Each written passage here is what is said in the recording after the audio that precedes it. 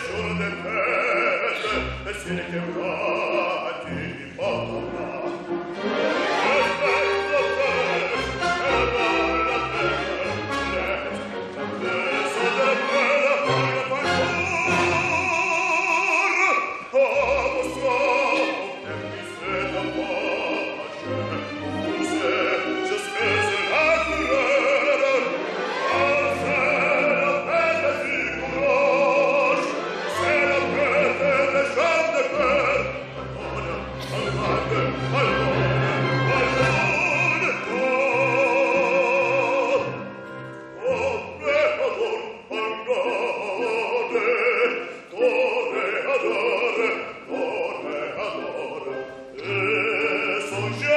verso Giacobba